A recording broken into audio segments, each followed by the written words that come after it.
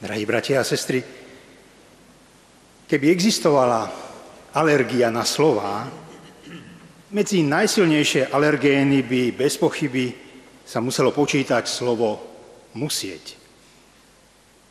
Veď kto zajasá nadšením, keď počuje, že niečo musí?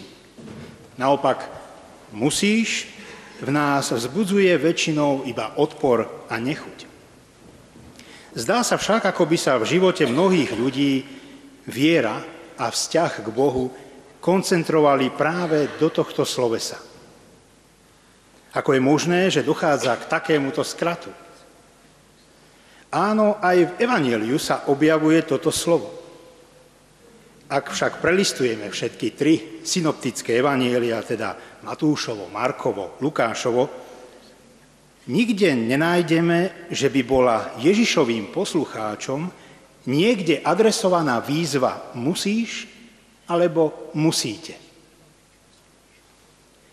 Ak sa v tých spomínaných synoptických evanieliach zmienuje, že niekto niečo musí, je to iba Ježiš. On musí hlásať radostnú zväzť o Božom kráľovstve.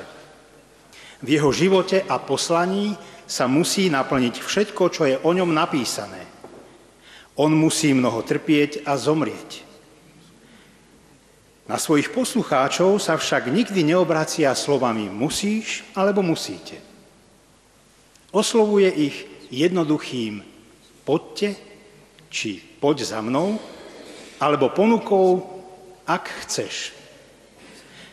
A nie je tomu inak ani v dnešnom úrivku z Lukášovho Evanielia, ktorý sme si práve vypočuli. Kto chce ísť za mnou, nech zaprie sám seba, vezme každý deň svoj kríž a nasleduje ma. Pokiaľ sa teda náš vzťah k Bohu redukuje iba na musíme, zdá sa, že sme spoznali nejakého iného Ježiša ako toho, ktorý naše ťažké a nepríjemné musím vzal na seba a vyniesol na kríž, aby nás oslobodil k radostnému chcem, chcem ísť za tebou. Pomôžme si pri našom zamyslení nad evaníliovým úrivkom komentármi, najskôr Aleša Opatrného a potom Angela Skarána. Kresťanstvo je pekná záležitosť. Kostoly bývajú krásne, stará cirkevná hudba povznášajúca, kresťania sú mnohokrát ľuďmi s ušlachtilými záujmami. Ale kríž? Môže sa kríž niekomu páčiť? Môže byť normálny človek nadšený pre utrpenie? Odpoveď nie je rozhodne poctivá. A predsa Ježiš, ktorý má na mysli bez pochyby veci Božie, hovorí o kríži, utrpení a stratách. Znamená to azda, že Boh dáva prednosť utrpeniu pred šťastím, smrti pred životom. Znamená to, že sa Bohu páči, keď sa ľuďom vedie zle? Bohužiaľ, mnoho ľudí si to myslí. Ale Bohu vďaka, Evangelium toto netvrdí. Evangelium predsa ukazuje Ježiša, Mesiáša, Syna Božieho, ako toho, kto utrpenia sníma, kto oslobodzuje, uzdravuje a robí ľudí šťastnými. Ježišova cesta kríža má byť aj cestou jeho nasledovníkov. A pretože sa jedná o náročnú cestu, je potrebné zaprieť sám seba.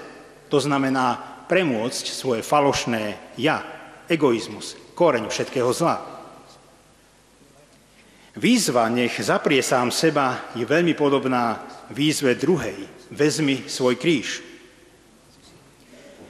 Kríž nie je obrazom všetkých možných životných trampôt a problémov, chorôb.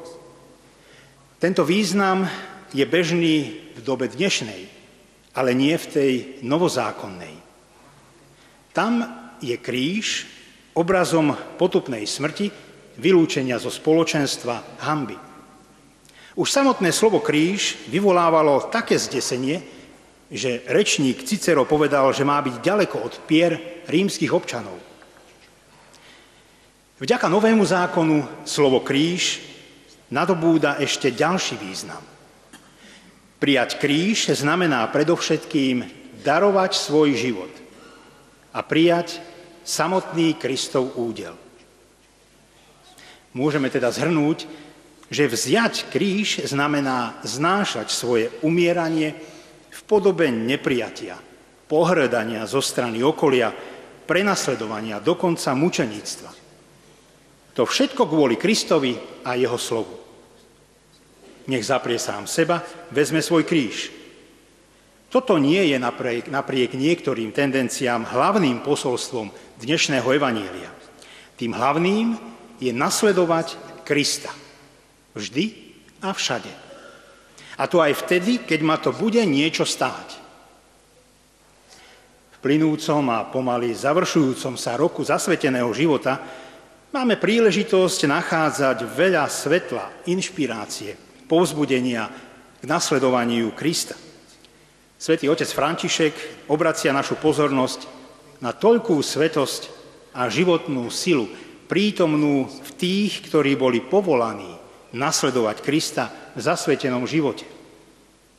Vo svojom apoštolskom liste všetkým zasveteným osobám píše takto. Od počiatkov mnížského hnutia až po dnešné novej komunity sa každá forma zasveteného života rodí z volania ducha nasledovať Krista, ako to učí Evangelium.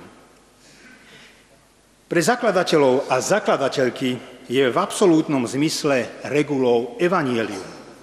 A každá iná regula mala byť len iným vyjadrením Evanielia a pomôckou na prežívanie Evanielia naplno.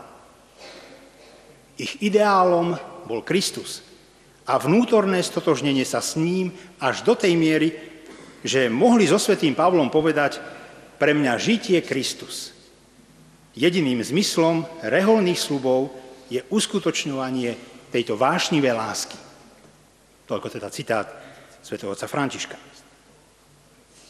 Svetý Benedikt v snahe pracovať pre Boha a nie ťažiť zo šťastia v živote sa vydal cestou pustovníckého života.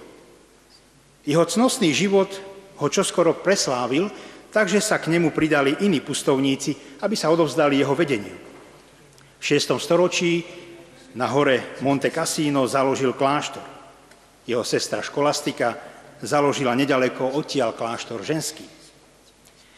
Benediktové pravidlá sú zároveň prvou úradnou listinou západnej Európy. Benediktinské kláštory civilizovali nás, Európanov. Svetý František a svätý Dominik priviedli Európu 13. storočia naspäť ku Kristovi. Františkov náboženský zápal a radostná chudoba si získajú srdce naprieč spoločenskými vrstvami. Oslovuje ľudí rôznych stavov. Dominik zistil, že jeho poslaním je šíriť lásku kázaním pravdy. Svetý Ignác z Loyoli bol jedným z najväčších mystikov. Bola to mystika služby, úplnej oddanosti Kristovi ako pánovi. Muž jednoduchej modlitby. Jeho duchovné cvičenia formovali mnohých misionárov a systém školstva. Svetá Terézia Zavili zreformovala karmelitánsky rád a stala sa jedinečnou učiteľkou modlitby. Žila svetosť ktorá spočíva v tom, že robíme obyčajné veci neobyčajne dobre. Stihodná Mária Vardová, zakladateľka kongregácio Jezu, bola povolaná Bohom osobne aj cez novozaložené spoločenstvo reholných sestier povzbudzovať ľudí vo viere a zvlášť formovať generácie žien v kresťanskom spôsobe života – Žila presvedčenie, že náboženské i mravné dobro generácií závisí od zrelosti žien, ktoré sú srdcom rodín a spoločenstiev. Je pre nás vzorom ženy vernej cirkvi, vernej Božím vnúknutiam a vernej ľuďom v duchovnej hmle. Sveta Angela Meriči bola duchovnou vodkyňou, ktorá vytvárala pokoj a často pomáhala kazateľom a teológom pochopiť určité úrivky zo svätého písma. Založila spoločnosť svätej Uršule, ktorá má účasť na výchovnom poslaní cirkvy v jeho rozmanitých formách. Svetý Jan Bosko Bol geniálny vychovávateľ, zakladateľ a prvá hlava salesianskej rodiny, apoštol Turína. Zakladatelia a zakladateľky spoločenstiev zasveteného života, pokračuje potom svätý otec František v spomínanom liste, pocítili v sebe súcit, ktorý sa dotkol Ježiša, keď videl zástupy ako osamotené ovce bez pastiera. Tak ako Ježiša viedol tento súcit k tomu, že im daroval svoje slovo, uzdravil chorých, dal im chlieb, aby sa nasítili a obetoval aj svoj vlastný život, tak aj zakladatelia sa rôznymi spôsobmi dali do služby ľuďom, ku ktorým ich duch poslal. Prosebnou modlitbou, službou chudobným a chorým, hlásaním evanielia, katechézou, vyučovaním. Fantázia lásky nepozná hranice a dokáže otvárať nespočetné cesty, ktorými možno prinášať dých evanielia do najrôznejších kultúr a sociálnych prostredí. Toľko opäť citát od svätého otca pápeža Františka. Základným prvkom spirituality reholníkov je zasvetenie, ktoré nachádza svoje tradičné vyjadrenie v profesii evanieliových rád, zvlášť v najobvyklejšej forme trojice chudoby, čistoty a poslušnosti. Evanieliové rady chudoby, čistoty a poslušnosti môžu byť inšpiráciou a veľkým darom pre každého, kto sa hlási ku Kristovi krste sme všetci dostali milosť a poverenie k tomu, aby sme sa stávali druhým Kristom. I nezadaný lajk, diecezný kňaz, vydatá žena alebo ženatý muž môžu čerpať z týchto troch prameňov živej vody a piť z nich i mimo múrov kláštorov či reholných komunít. Prednedávnom sa mi dostala do rúk knižka talianského kniaza rímskej diecézy a špirituála rímskeho seminára Pontificio Seminario Romano Maggiore, ktorý sa volá Giuseppe Forlai. A tá knižka nesie názov Obrátený svet, evanieliové rady v každodennom živote. V závere knižky sa autor usiluje zamerať na niektoré konkrétne spôsoby prežívania evanieliových rád, chudoby, čistoty a poslušnosti uprostred sveta. Dovolte, aby som sa s vami podelil s ovocím jeho reflexie. Pripomeňme predovšetkým, že evanieliové rady sú ponukou, ktorou pán oslovuje všetkých. Hoci ich potom možno prežívať rôznym spôsobom a v rôznej miere podľa vlastného životného stavu. Manželstvo, zasvetený život, služobné kňazstvo. Môžeme pokojne povedať, že všetci pokrstení sú povolaní nasledovať pána vo svetle toho, čo je podstatou evanieliových rád, keďže oni predstavujú reálny spôsob života nášho pána na tomto svete. Kresťan môže prežívať evanieliovú radu chudoby vo svojom každodennom živote predovšetkým dvoma spôsobmi. Prvý spôsob predstavuje prijatie svojej vlastnej obmedzenosti. Sme povolaní predovšetkým ku kresťanskému zápasu so svojimi hriechmi. Avšak musíme sa tiež naučiť príjmať svoje obmedzenia. Prvou formou chudoby je vyrovnané prijatie toho, čím sme. Každý z nás má svoje hranice a musí sa naučiť vážiť si ich a neprekračovať ich, pretože sú znamením, ktoré stvoriteľ vtlačil nášmu životu jednoducho preto, že nie sme Boh. Je to pre nás veľmi ťažké, pretože vždy na seba hľadíme s túžbou stať sa tým, kým nie sme. Prvá forma chudoby sa teda uskutočňuje vtedy, keď prejdeme od snov k svojim skutočným potrebám a keď dokážeme zhovievavo prijať skutočnosť, že sme iba tvormi. Druhým podstatným prvkom chudoby je celkom isté striedmy spôsob života. Každý ju môže prežívať spôsobom, ktorý považuje za najvhodnejší. V súčasnej dobe sa nachádzame v situácii, kedy už striedmosť nie je len voľbou, ale nevyhnutnosťou. Chudoba však nie je v tom, že sme striedmi z donútenia. Chudoba znamená žiť striedmo s radosťou a s vyrovnanosťou a neprežívať striedmosť ako nešťastie, ktoré nás postihlo. Uspokojiť sa s málom neznamená iba šetriť, ale je to rozhodnutie, životná voľba. Znamená to pochopiť, že k životu nepotrebujeme mnoho vecí a že väčšina toho, čo máme, nie je pre dobrý život nevyhnutná. Druhým konkrétnym aspektom, ktorý si môže každý z nás vo svojom každodennom živote nastaviť podľa svojho užívania, je tiež striednosť prežívaná s úsmevom. Z tejto striednosti života sa potom môže zrodiť solidarita s ľuďmi, ktorí majú menej než my sami. Je to pozornosť, ktorou sa v Evanieliu vyznačujú Ježišové postoje. On si všíma chudobných. Nie len, že ich vidí, ako všetci jeho súčasníci, ale cíti ich potreby. Zo striedného života príšti jedna základná charakteristika kresťanského života, ktorou je almužna a schopnosť zdieľať s druhými aj to málo, čo máme. Často v našich mestách prechádzame okolo žobrákov a myslíme si, že dať almužnu znamená dať im pár drobných. Dávať almužnu v skutočnosti znamená aj zastaviť sa a povedať pár slov. Tejto pozornosti je však schopné iba striedme a vyrovnané srdce. Iste ste už počuli alebo čítali ten príbeh o nemeckom básnikovi Rilkem počas svojho pobytu v Paríži, vo Francúzsku. Na rohu Parížskej ulice sedávala nehybne ako socha z žobráčka. A nemecký básnik Rilke jej nikdy nič nedal, Zatiaľ, čo jeho spoločníčka jej občas podala nejakú mincu. Raz sa ho mladá francúzska opýtala, prečo tej chudere nikdy nič nedáš? Mali by sme niečo darovať aj jej srdcu, nie iba rukám, odpovedal básnik. Na druhý deň prišiel Rilke s nádhernou sotva rozvitou ružou. Vložili ju žobráčke do ruky a chystal sa odísť. V tom sa stalo čosi nečakané. Žobráčka zdvihla zrak, pozrela sa na básnika, namáhavo vstala, chytila ho za ruku a poboskala mu ju. Potom si pritisla rúžu na srdce a odišla. Celý týždeň ju nebolo vidieť. Na 8. deň sedela znovu na svojom mieste na rohu ulice, mlčanlivá a nehybná ako vždy. Z čoho celý ten čas žila, keď si nič nevyžobrala? Pýtala sa mladá francúzska Rilkeho. Z rúže, z daru srdca, odpovedal básnik.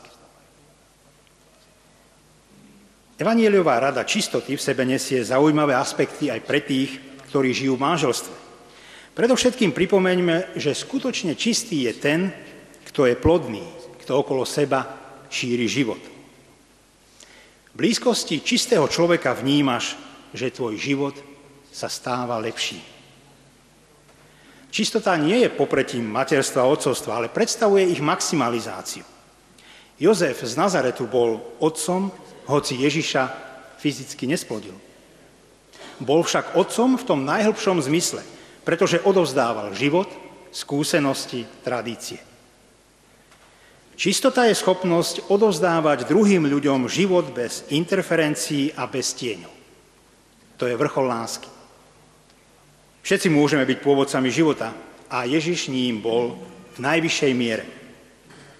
Keď uvažujeme o tomto prvom aspekte čistoty, musíme si položiť otázku, či sme schopní odovzdávať život a či medzi tými, ktorí sú okolo nás, šírime chuť naplno žiť kresťanským životom.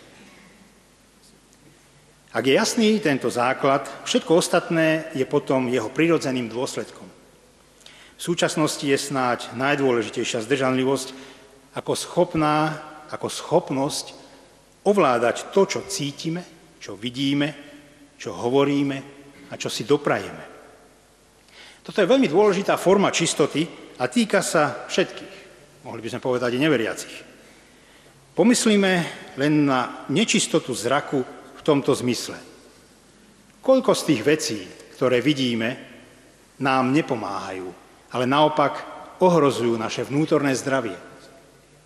A ešte viac sa zamyslíme nad nedostatkom zdržanlivosti v reči.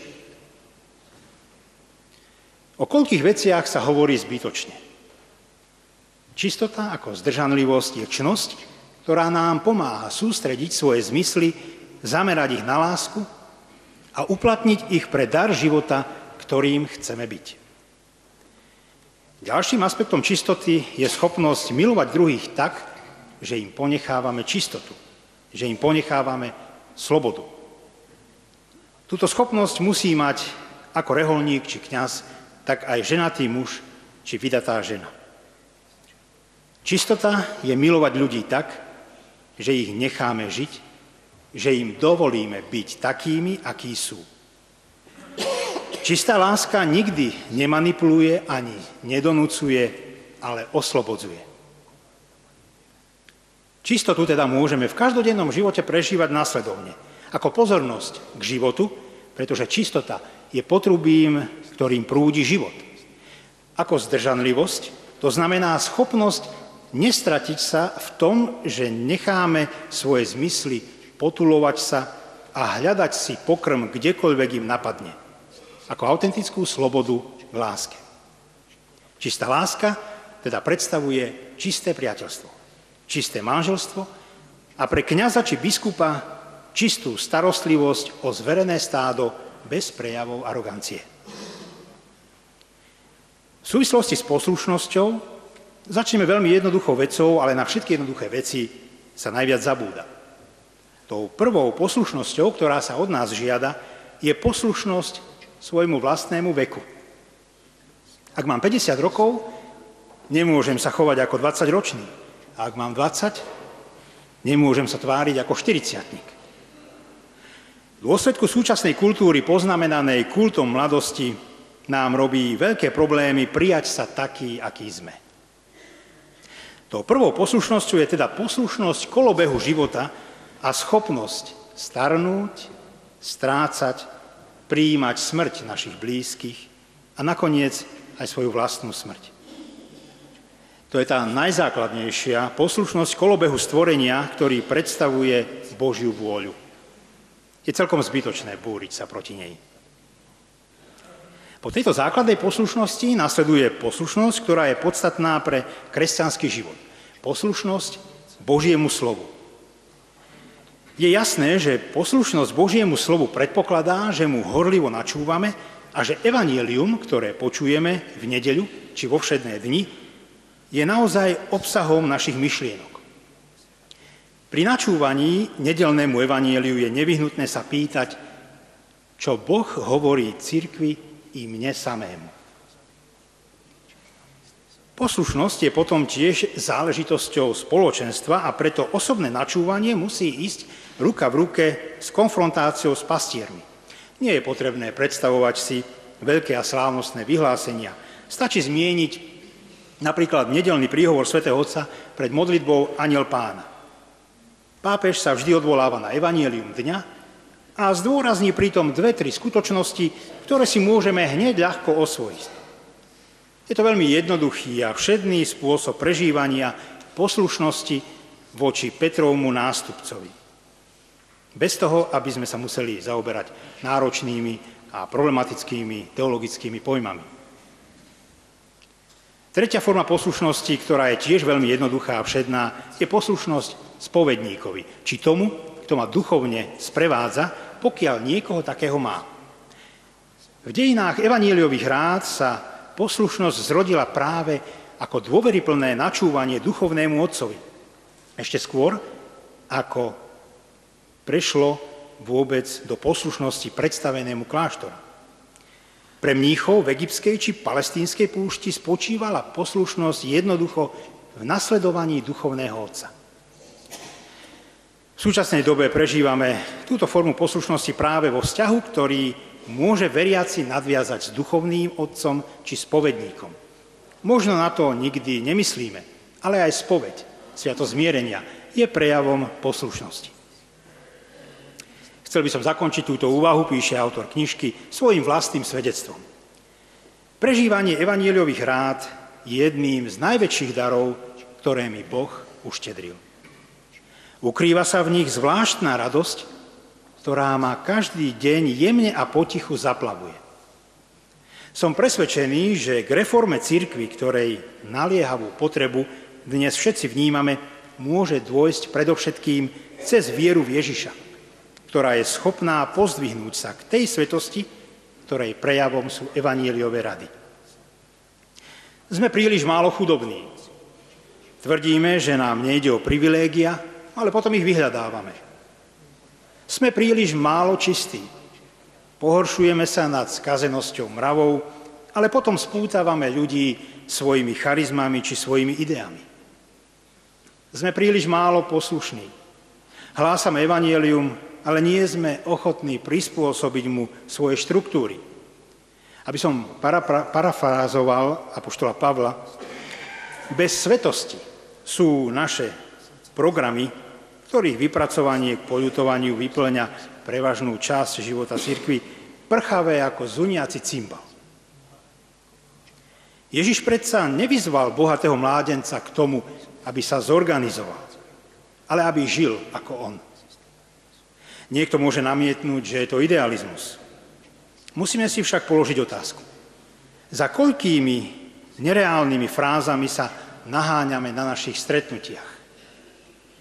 Myslím, že kto túži po niečom viac, než iba po programoch, či už laik, reholník, kňaz či manžel, môže nájsť to, čo hľadá v živote čistoty, chudoby a poslušnosti, v živote podľa Evanielia v nasledovaní Krista.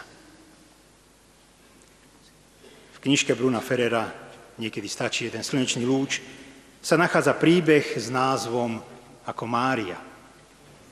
Raz v noci sa mi prisnil nádherný sen, píše sa v ňom.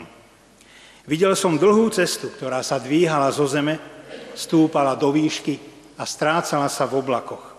Cestu priamo do neba. Nebola to však cesta pohodlná. Naopak plná prekážok, posiatá s hrdzavenými klincami, ostrými špicatými kameňmi a kúskami skla. Ľudia šli po nej bosy. Klince sa im zapichávali do nôh. Mnohí z nôh krvácali. Ľudia však neustávali, chceli prísť do neba. No každý krok bol veľkým utrpením a kráčali pomaly a s námahou. A potom som vo svojom sne videl Ježiša, ktorý šiel vpredu. Aj on bol bosý. Kráčal pomaly, ale rozhodným krokom. A ani raz si nezranil nohy. Ježiš stúpal a stúpal. Nakoniec prišiel do neba a sadol si na veľký zlatý trón. Pozeral sa na tých, ktorí sa na ceste namáhali. Povzbudzoval ich pohľadom a gestami. Hneď za ním kráčala Mária, jeho matka. Mária vykračovala rýchlejšie ako Ježiš. Viete prečo? Stúpala do Ježišových stôp. A tak čoskoro prišla až k Ježišovi, ktorý ju posadil na veľké kreslo po svojej pravici.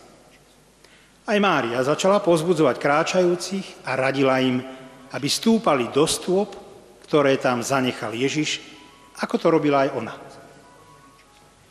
Múdri ľudia tak robili a rýchlo vystupovali k nebu. Ostatní sa ponosovali na rany a často sa zastavovali niekedy, sa vzdávali a zmalomyselnili na okraji cesty, premožení smútkom. Drahí bratia a sestry, ak je aj naša cesta trnistá, kamenistá a máme zráňané od námahy celé telo, nevzdávajme sa. Pozrime sa na Ježiša a jeho matku. Pozrime sa na tú, ktorá bola vzatá do neba. S pohľadom upretým na Ježiša a Máriu iste dosiahneme svoj cieľ. Amen.